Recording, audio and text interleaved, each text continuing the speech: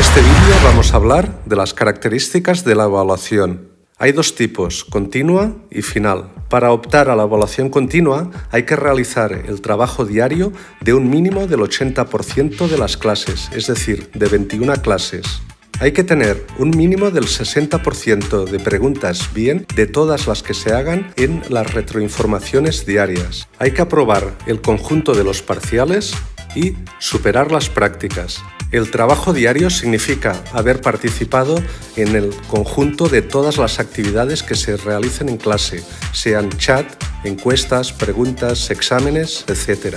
Si se cumplen estos requisitos, la nota de la evaluación continua vendrá exclusivamente del conjunto de los cuatro parciales. Todos los exámenes, menos el examen de prácticas, constan de preguntas de tipo test y de respuesta corta, con una sola respuesta correcta en cada pregunta, y las malas no cuentan negativos.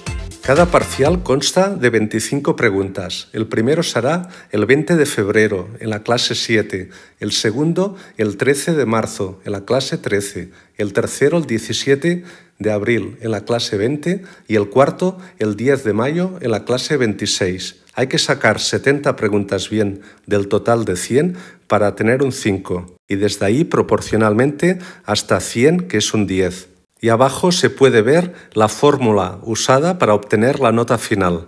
Las prácticas se superan asistiendo a todas y sacando en cada una de ellas un mínimo de 80 sobre 100 en sus valoraciones. Quien no supere las prácticas tendrá que hacer el trabajo de prácticas que se presenta la última semana de curso y si además no ha llegado a un mínimo de 7 asistencias, es decir, con 6 o menos, tendrá que presentarse a final de curso en el examen de prácticas. Los exámenes parciales y las retroinformaciones de las clases se harán con el smartphone. El examen final se hará preferiblemente con el smartphone y el examen de prácticas se hará en papel. A la evaluación final se podrá presentar todo aquel que quiera mejorar nota, quienes no hayan superado la evaluación continua o quienes hayan optado desde el inicio por la final.